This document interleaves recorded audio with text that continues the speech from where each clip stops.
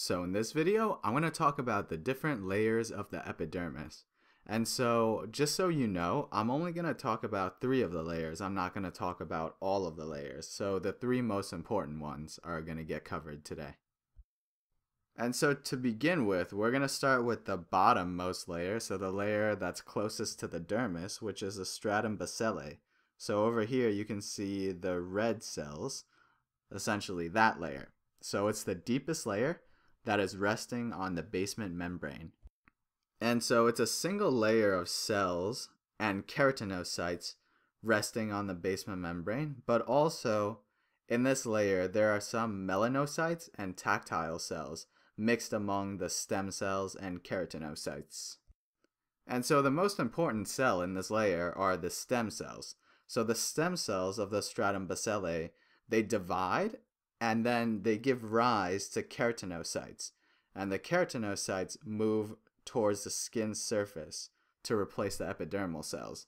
And so we're going to talk about the stratum spinosum in a little bit, but essentially that's where the most of the keratinocytes are. And so these cells divide to replace the lost epidermal cells, the stem cells, I mean. And the stem cells are constantly dividing and making new keratinocytes, which is why your skin is constantly, it essentially is always regenerating itself and creating a new layer. So now let's talk about the layer that's above the stratum basale, which is the stratum spinosum. So this layer, this thick layer right there. And so it's really important to remember that for the stratum spinosum, the deepest cells can still undergo mitosis, while essentially the further up you get, the cells will not be capable of undergoing mitosis. And so the deepest cells can undergo mitosis. Um, dendritic cells are also found in this layer. But what's most important is that this layer consists of several layers of keratinocytes and is the thickest layer in most skin. So thickest layer of the epidermis, I mean. In addition, the keratinocytes are attached to each other by desmosomes. And so as I said before, as cells move up towards the surface, they lose the ability to divide. But the thing is, as the cells move up, this keratin fibers cause the cells to flatten. And so as the keratinocytes move up, they will flatten even more.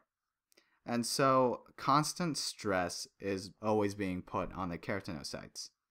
In addition, it's important to remember that the keratinocytes are firmly attached to each other by desmosomes, which essentially just help create a strong bond between the keratinocytes.